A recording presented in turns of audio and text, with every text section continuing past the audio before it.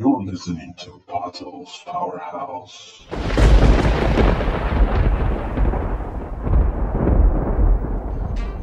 Pato Morningstar, your friendly neighborhood soundmouth podcaster, and that's right, a duet, another freestyle. So I don't know what I'm gonna say next. How I get to be the villain of this here story?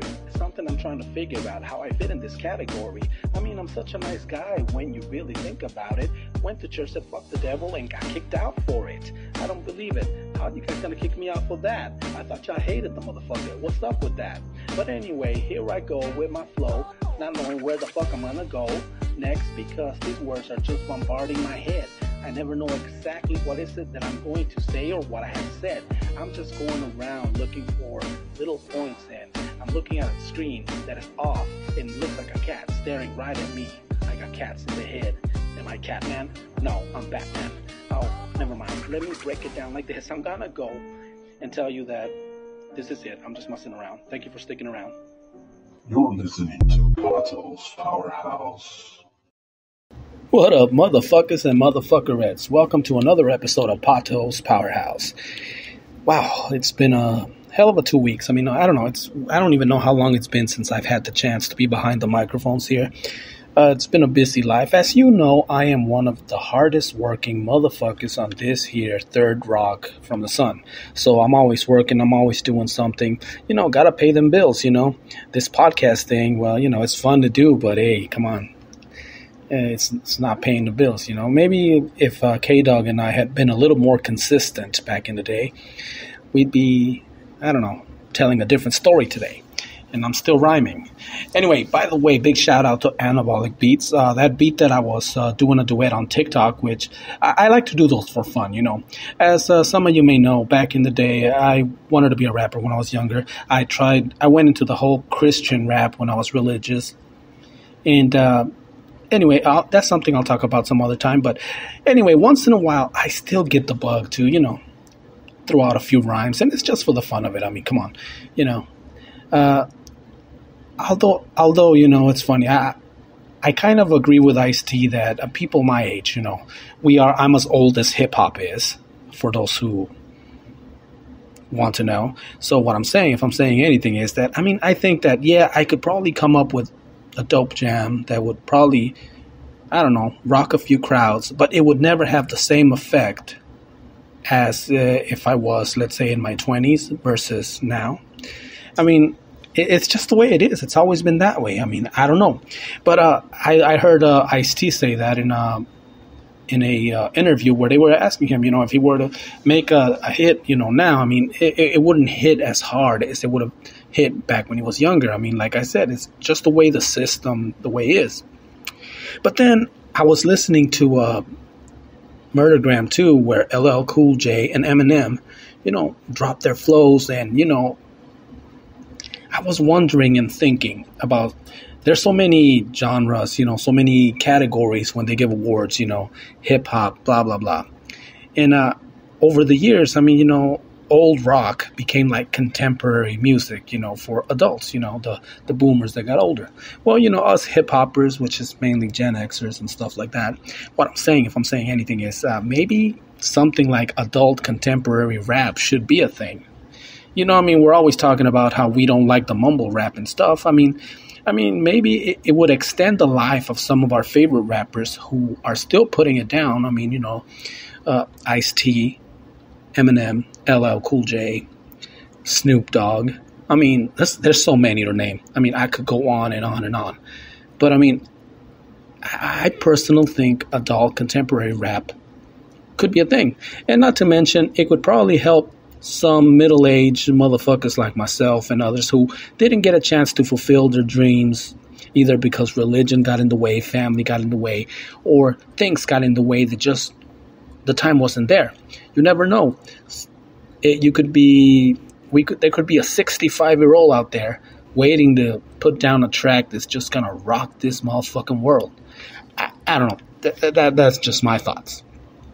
Maybe because, like I say, I'm not a younger youngster anymore, and but like I said, for me, busting my rhymes right now, everything is just for fun. You know, somebody asked, "Do I have a YouTube channel?" Well, we have a YouTube channel for the podcast, but uh, which is the pot the podcast Shack.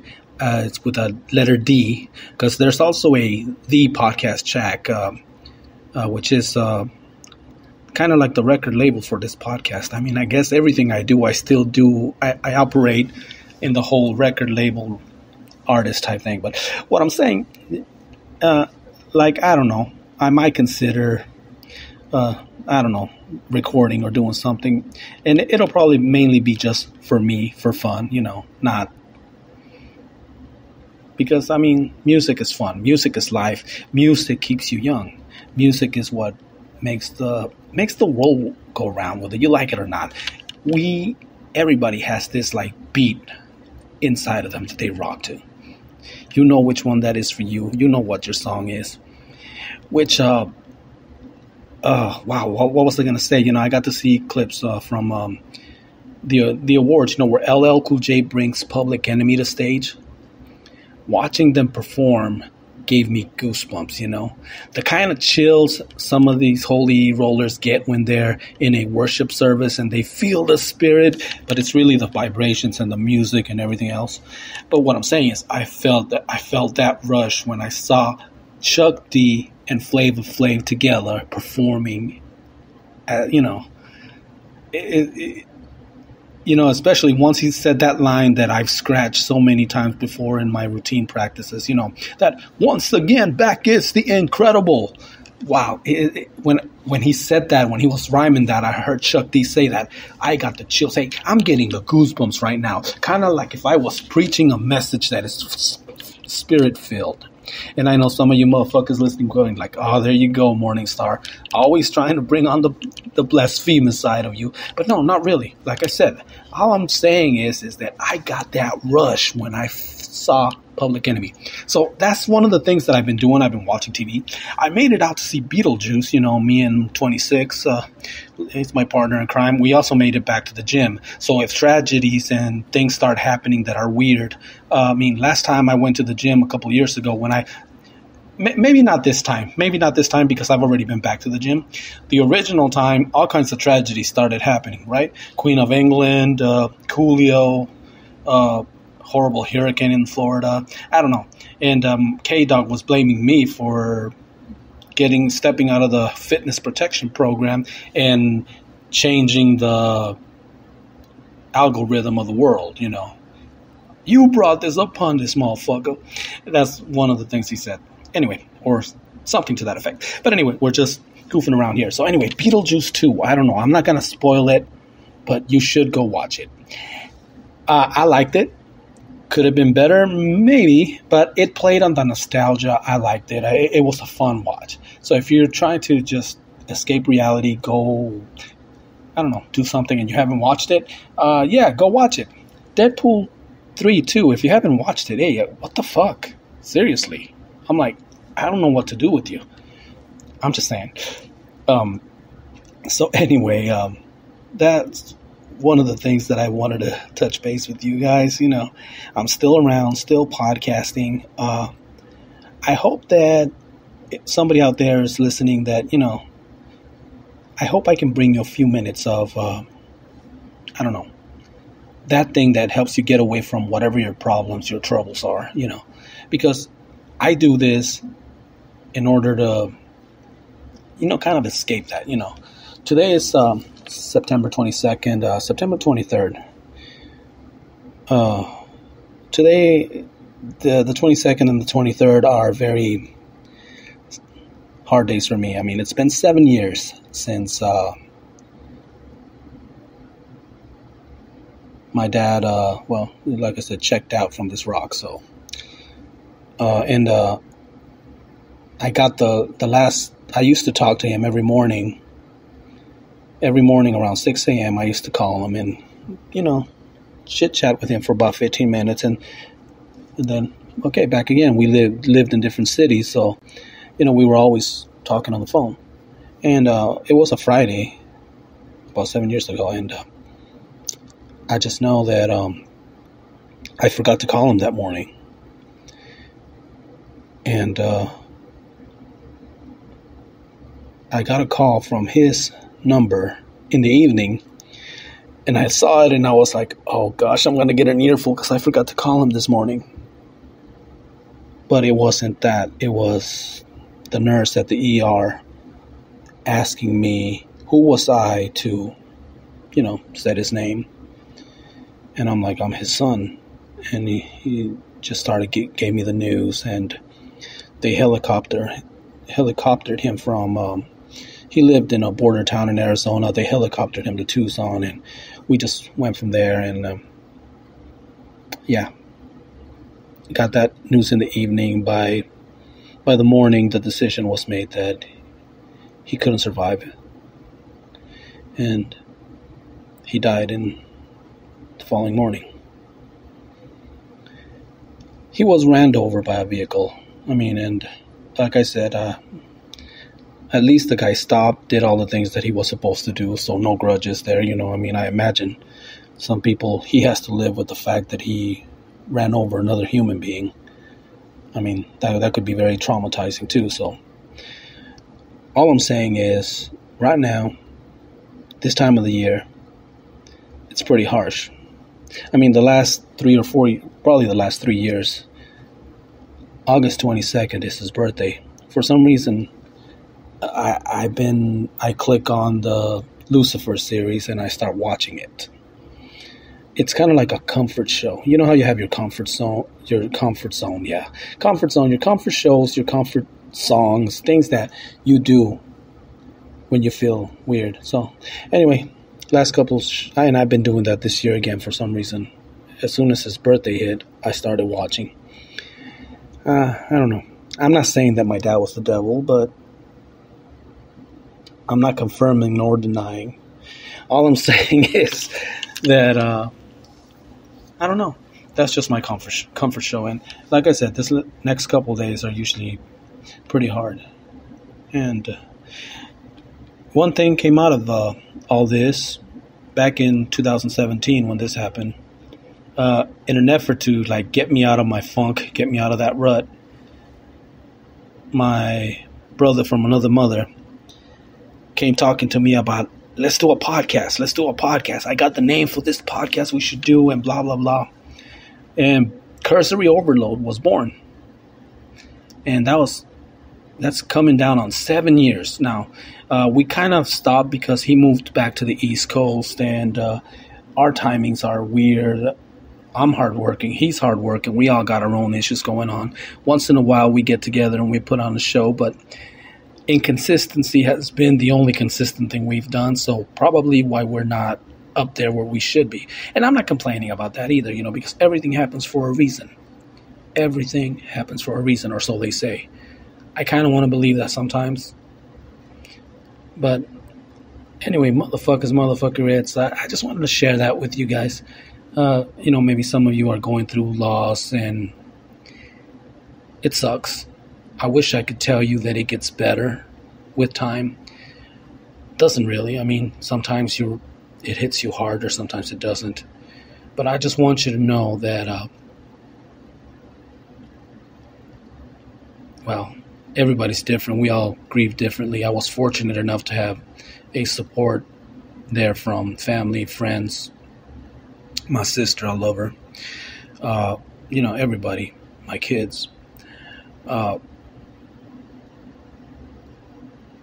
the support of a friend who, in order to get me out of that rut, uh, helped me formed or we formed a podcast that was talking about sex robots, uh, movies, and God knows what, you know.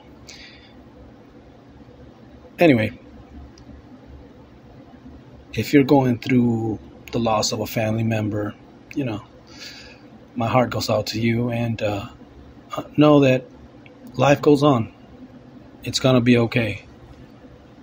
I mean, experiences are different. I remember my sister had a different processing than I did. I remember when he first passed away, I had a dream. I dreamt of him, not of what he looked like at 87, but what he looked like in his late 40s, 50s. And he was like at at the gate of a like a gated community. It, it looked like he was like in-house security there or something. I don't know, just weird. But I remember I was I was talking to him. He was uh, wearing a Superman shirt. And he's like, hey, this is where they have me. I'm going to be okay here. Then he reached out, hugged me, and kissed me on the forehead. It was one of those dreams where you could actually feel things. I actually felt that kiss on the forehead, and that's when I woke up. You know, I, I don't share stuff like this with many people or ever, but uh, it, it's hard to have conversations sometimes, even with the people that you shouldn't have any issues having conversations with. Sometimes you can have conversations with people. So the podcasting thing comes in handy, right? So now I'm sharing it with any motherfucker that's willing to listen. Anyway, that being said, thank you for hanging out with me till now. Um, that was uh, I'm going to share another freestyle, which I also think is Anabolic Beats. Uh, on the information here, I'm going to put their information so that if you like the beats that I'm rapping over, I mean, obviously they're available. You can contact Anabolic Beats and uh, I don't know, do your thing, whatever you want to do. If you want to use them beats, also, um, what was I gonna say? Live each day like it's your last one, because it very well could be live, love, laugh, do what you're gonna do, you know. Because be with the people that make you feel that you belong there with your tribe, you know. Sometimes it's family, sometimes it's not. Sometimes, like I said, they say blood is thicker than water. I don't know. I don't buy into that. Because sometimes people that are not from your bloodline become your family in a way that family never can. Now, that's not an issue with me. I got some pretty awesome family members and awesome non blood family members. And all you motherfuckers and motherfucker motherfuckerettes that are listening to, hey, you're all family. So, till next time. Uh, you know what? I'm to get the fuck out of here playing a freestyle that the freestyle that I did last time just just because. So, you motherfuckers, motherfucker motherfuckerettes, have a good one. Pato Morningstar here, your friendly neighborhood foul mouth podcaster. Doing a freestyle here. It's not my forte, but let's see how it goes. I'm not trying to be a Latin Eminem, regardless of what the AC rep said in a review back then. I'm just trying to bring my own character to life, you know, the one that escaped the mental ward dressed as a doctor. Doc Holliday, not the pistolero, but the one that goes around grabbing nurses' asses, giving good news and bad news scenarios to patients for the fuck of it. I remember I had a lot of fun doing that. I got good news and bad news. What you want to hear first? Give me the bad news, Doc. You're gonna die, man. What's the good news? I'm fucking the nurse. I don't know. I think that's how it went back in the day. I burned all those CDs in the masters. I don't know. I was going religious at the time. What was I thinking? I wasn't thinking. But anyway, what I'm doing right now is trying to make up for last time. I don't know. I'm just having fun with this rhyme. If you like it, tell a friend. Give me a follow. You're listening to Pato's Powerhouse.